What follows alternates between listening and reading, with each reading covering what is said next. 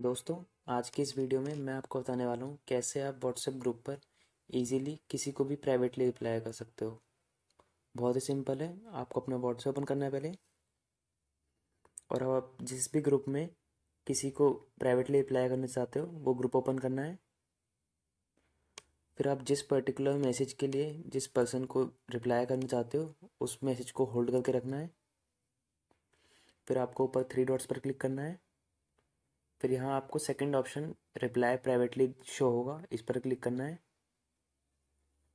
अब आप जैसे कि देख सकते हैं, मैं जिसको प्राइवेटली रिप्लाई करना चाहता था, उनका चैट बॉक्स ओपन हो गया है।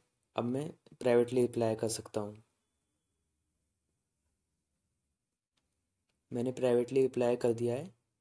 आप भी इसी तरीके से किसी को भी व्हाट्सएप ग्रुप पर प्राइवेटली अप्लाई कर सकते हैं। धन्यवाद।